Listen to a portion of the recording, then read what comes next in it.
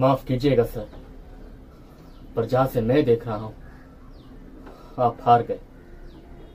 क्योंकि जहाँ से मैं देख रहा हूँ, मुझे एक पचपन साल का बाप, एक उन्नीस साल की बेटी की फूल छड़ी तस्वीर के नीचे खड़ा दिख रहा है। आप तब भी हारे थे, और आप आज भी हारे हैं। आपने कभी सोचा, मिस्टर शंकर, मैं गुरुकुल वापस क्यों आया? किसके लिए? जिस लड़की से मैं मोहब्बत करता हूँ, वो तो अभी दुनिया में है भी नहीं।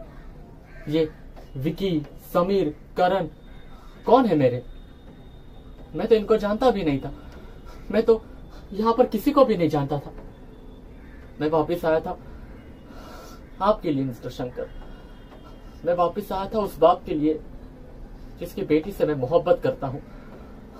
मैं यहाँ इसीलिए आया था क्योंकि वो हमेशा कहा करती थी कि मेरे पापा बहुत प्यारे हैं। ऊपर से सख्त है। लेकिन अंदर से बहुत नर्म।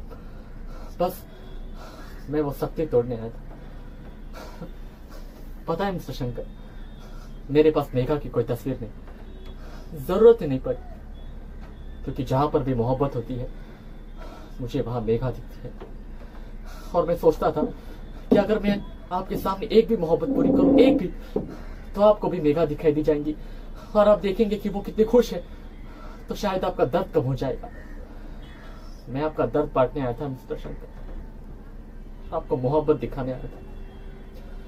मैं यहाँ आया था क्योंकि मैं एक बात समझ चुका था कि मेघा आपके बिना अधूरी है।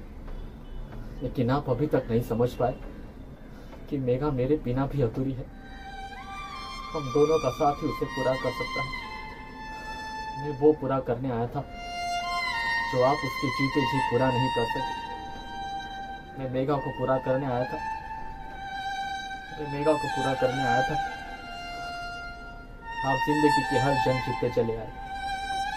पर ज़िंदगी के सारे सहारे हारते चले गए। तब आप एक बेटी हारे थे। आज आप एक बेटा हारे हैं। माफ़ कीजिएगा।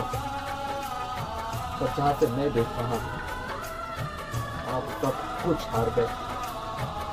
क्योंकि जहाँ से मैं देख रहा हूँ मुझे फिर भी बदनसीब इंसान दिख रहा है वो खड़ा है पीट करके दो लोगों की तरफ़ जो उसे दुनिया में सबसे ज़्यादा प्यार करते हैं। माफ़ कीजिएगा सर। माफ़ कीजिए।